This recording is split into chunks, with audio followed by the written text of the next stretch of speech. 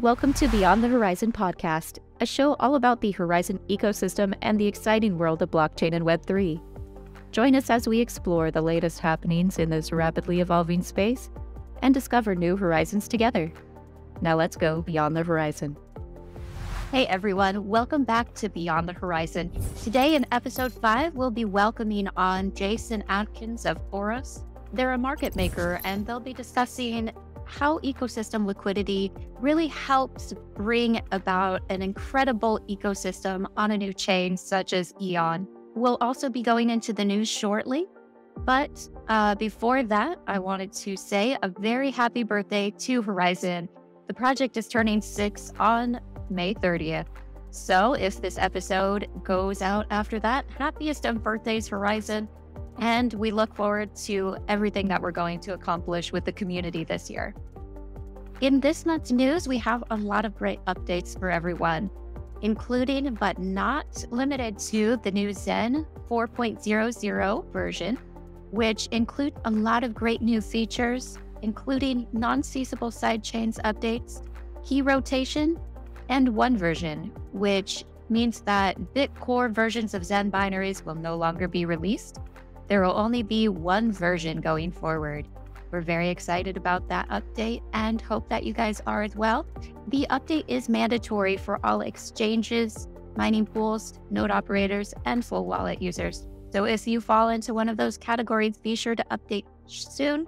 Uh, you can find all of the update links in our blog, which you can go to at horizen.io slash news.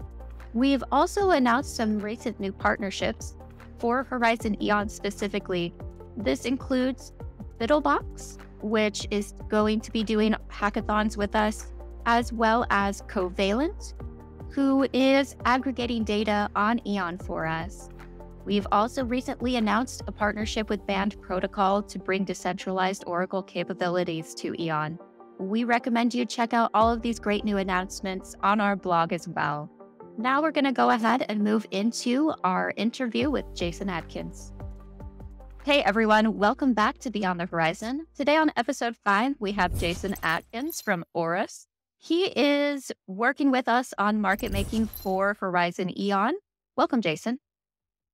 Hey, Erica. Thanks for having me. Of course. So, you're pretty new to the Horizen community, and they don't have a lot of experience with market makers previously uh, through Horizen. Can you tell us a little bit more about your background? Yeah, sure. So yeah, I've I've been in crypto for a little over two years. I joined at the end of 2021. I'm the head of business development and partnerships at Auros. Um, a large part of my role is working with a lot of our external partners, which is how Erica and I started working together and working with the Horizen team. Um, we're excited about the new upcoming Eon chain and how we can support liquidity for the whole entire ecosystem. Amazing. And we're super excited to start working with you guys as well. Can you explain to our community a little bit about what Auros does? Yeah, so Auros is a high frequency uh, trading firm. We have operated in the space since 2019. Uh, the company was founded by a couple of ex Optiver alumni, which is a Dutch high frequency trading firm, mostly known for its activity in the traditional finance space. Um, ben Roth, the CIO, and Brendan Scott, uh, the CTO, founded the firm and built out a team of developers, technologists that built the trading systems that allow us to be large, um, institutional sized traders across all of crypto assets. So we trade everything from spot, uh, futures, perpetuals, options, structured products. And when we say we trade them, the activity to the rest of the market looks like providing liquidity. So we act as the buyer and seller of multiple crypto assets across thousands of instruments on dozens of exchanges at any given time. Um, and the reason that we do that is mostly for our core trading activities. So that's arbitraging across various venues, um, ensuring that price harmonization occurs, and making sure that correct price discovery is happening. Um, alongside that, as we built out that tech stack over the last five years, it became apparent to us that the sophistication required to deliver that sort of liquidity was very beneficial for external partners as well. So Ben started to explore how we could utilize that tech to help um, external partners. And that's sort of how we ended up on this journey with Horizen and exploring how we can help the EON ecosystem grow into what it ultimately can be. And that's where Auros sort of acts as the grease in the wheels of the system itself. So we ensure that there's sufficient liquidity for all participants to buy, to sell, to hold with confidence, um, to trade, to stake, to do all of the activities that go with any blockchain. Um, market makers serve an, a key role in that process of allowing participants to trade with confidence and participate with confidence. I love that. Um, I did notice you said like a lot of technical words there. Uh, maybe for the people who are a little less technical um, and a little newer to crypto, could you explain a little bit about what market making is uh, at a really base level, um, just just for educational purposes? Yeah, for sure. So market making at its core level is acting as the bid or the buyer and the offer or the seller of an asset. So in crypto, that might be Bitcoin or it might be Horizen or Zen, the Zen token.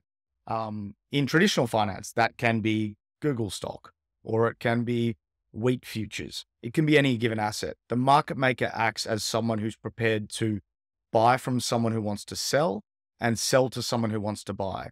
Now, that doesn't necessarily have to be because they have a view that the market's going higher or lower. They're doing it because they have the capabilities to act as the buyer and then hedge that trade itself immediately or otherwise using another instrument or another venue or statistically holding that over a period of time. But essentially, market making is creating the market itself, allowing for price discovery to occur. Without market making, you would have natural trading interest in very illiquid conditions. So if someone wanted to buy, the price might move very quickly higher and then immediately come back lower, or very quickly lower and immediately come back higher. So you you have a very difficult position when there's no market making of having a lack of price discovery. Market makers help to smooth that process and in essence reduce volatility, which is something that a mature and healthy market needs. That makes perfect sense. Um, so that sounds very interesting. Can you explain a little bit about what price discovery is for people who may have not have heard that term before? Yep, definitely. So price discovery is in essence when someone would like to buy something for a certain price. If no one's prepared to sell it to them, they might say you wanted to buy a car for a thousand dollars and no one was prepared to sell it for a thousand dollars, but they're prepared to sell it for two thousand dollars. You would slowly move your bid or the buy price higher, and the person who was prepared to sell it may move their price lower.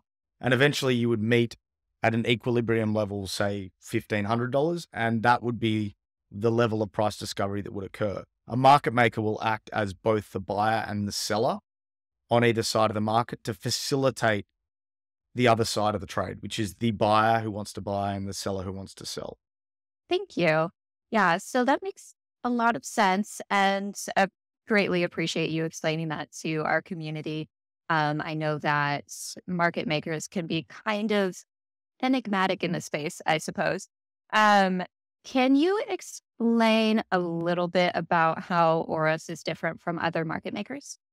Yeah, so Auros is a, a high frequency trading firm, which that phrase might have been bandied around and a lot of people don't know what that means. But it is, in essence, it means that we hold trades for short amounts of time. So when we're trading in something as that market maker, so the buyer or the seller, we don't generally hold on to it and hope that the market would go higher if we bought or lower if we've sold.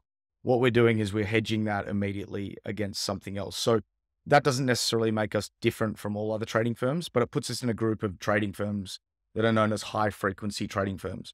What separates us from the pack is the amount of technological sophistication that goes into our trading systems. So essentially over the last five years, Ben and Brendan and the team at Auros have built the tech stack that's able to allow us to act as a large percentage of global daily volume. So depending on market conditions, but on any given day, that can range from anywhere between 1 and 3% of all crypto volume is going through our firm.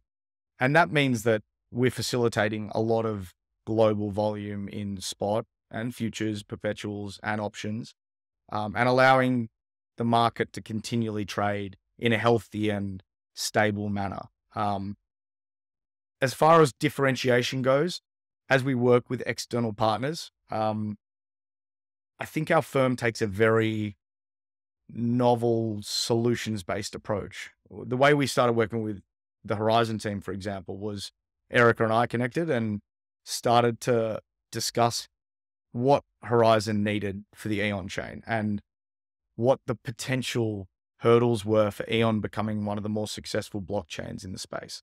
And as we discussed those hurdles, Auros took the approach of looking at our skill set, our tech stack, and the people that we have working for us the traders, the developers, the engineers, and working out how we can utilize that skill set to help deliver those solutions. So, a lot of our competitors in the space, very well established and very well known for what they do, which is an excellent thing to have. It's brand and it's it's the building blocks of why people work with you. We try to look at it differently and understand that crypto is a fast moving, innovative space, and a lot of the requirements are new and unique. So we try to work with our partners first to understand what they need and then solve for those problems themselves. I think that part alone, that approach is is one of the major differentiations of how we work with external partners. And I'm very inclined to agree. I know that there were a lot of discussions just between yourself and, and myself trying to figure out exactly how we can work together to really make EON a successful chain. Definitely. So that kind of leads me into our next question here from the community.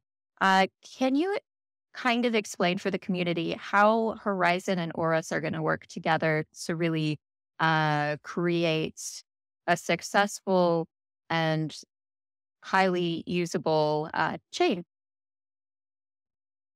Yeah, so as as the Horizen team started to explain to us what they're trying to do with EON, we started to understand that if you're to build a successful blockchain, it's the base layer upon which everything else is built. And as the Horizen team brings in a multitude of external teams that are going to be building dApps that are across the EON chain and, and will allow it to thrive and become an ecosystem or, or a place where people can operate, transact, build other projects on top of.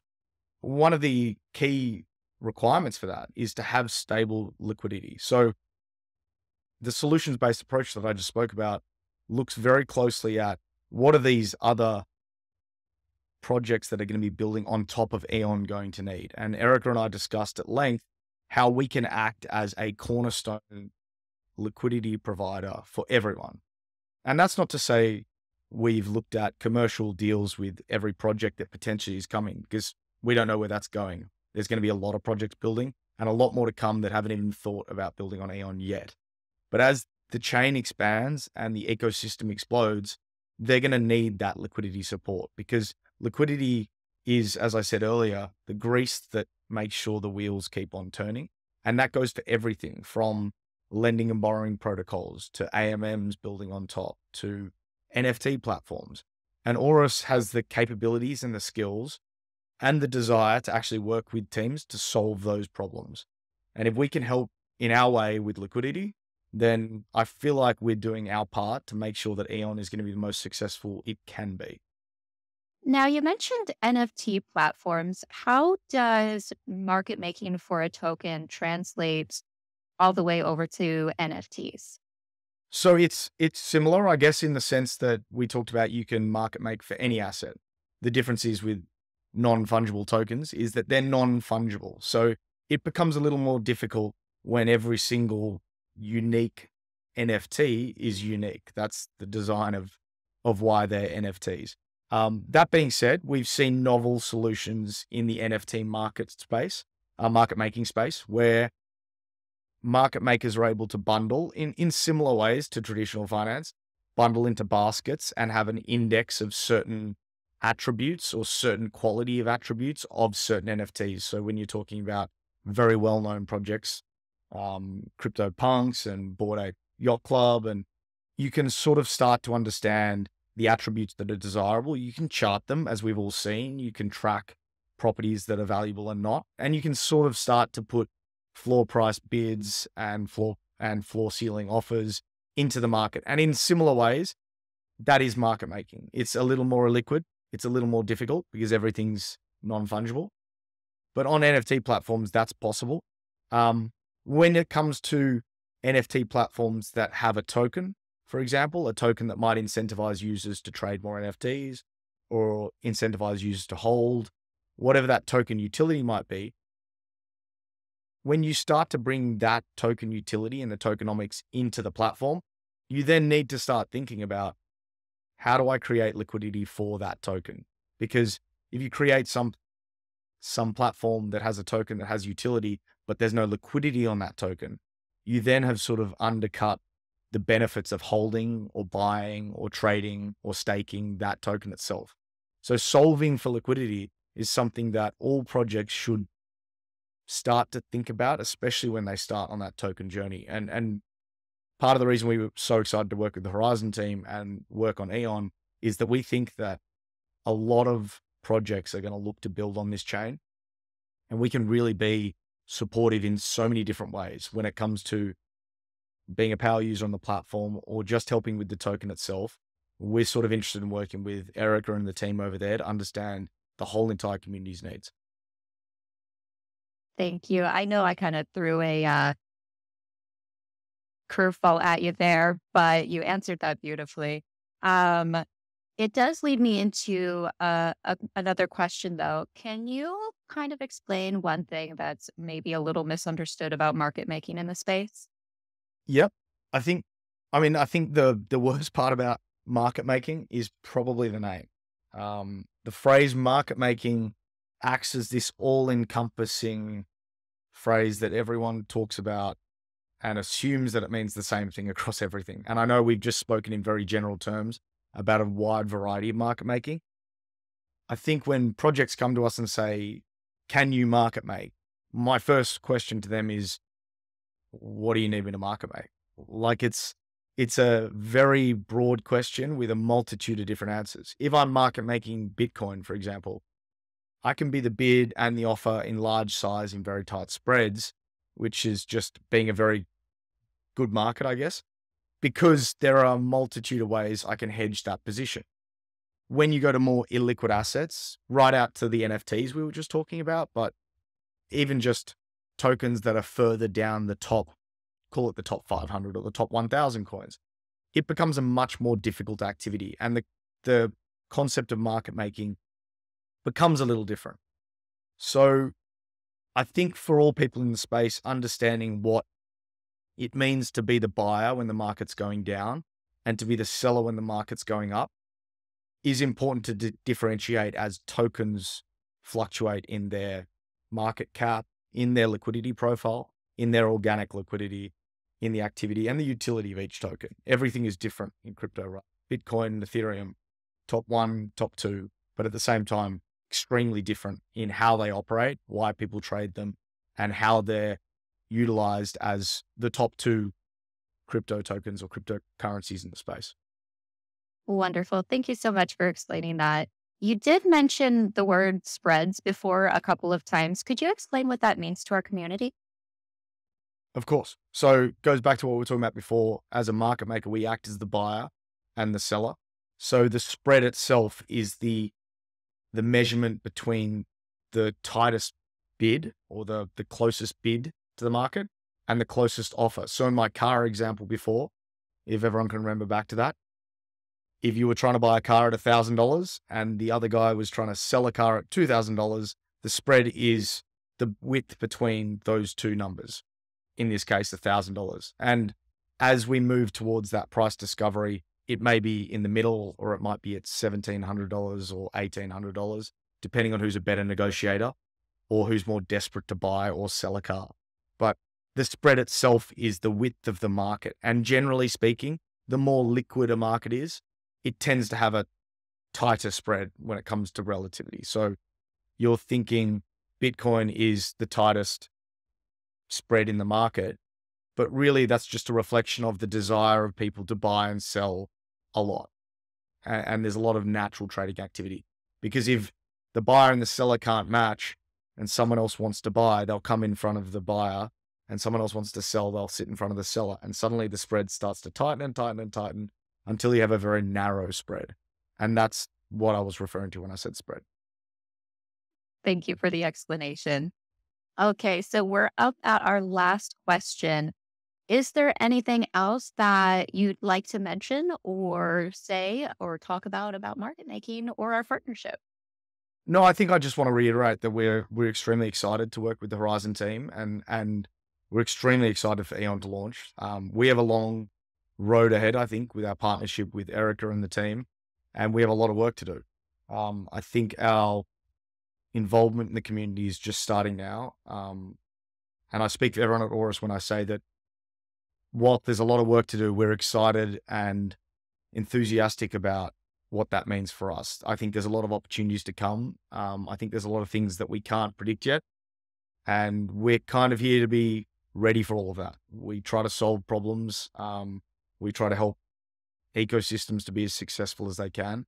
And we really want to make sure that all the work that the Horizen team's putting in, coupled with the work that we're planning to put in and, and are starting to put in already, um, will lead to some of the most successful, mm, will lead to the most successful environment for everyone who's involved at all levels of the community, from the smallest token holder to the biggest project that's planning to build on top of Eon. We want to be there every step of the way. So we're excited.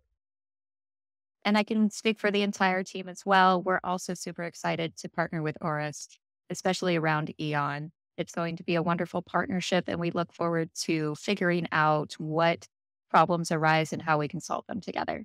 Thank you so much for joining. Thank you Thanks. so much for Thanks, joining Erica. me today, Jason. I hope uh, that we'll have you on again soon. Um, I think that as we continue to grow the chain together, it'll be very interesting for the community to see exactly how we're working together and what hurdles we've overcome together yeah, likewise, we'd, we'd love to be back and, and look forward to speaking to you and the team and the community as much as we can in the coming years. Thanks for having me. Thank you for joining us on Beyond the Horizen. Stay tuned for more exciting episodes as we continue to discover the limitless potential of the Horizen ecosystem. If you liked this episode, make sure to subscribe and leave a thumbs up. Thank you, and we'll see you again next time.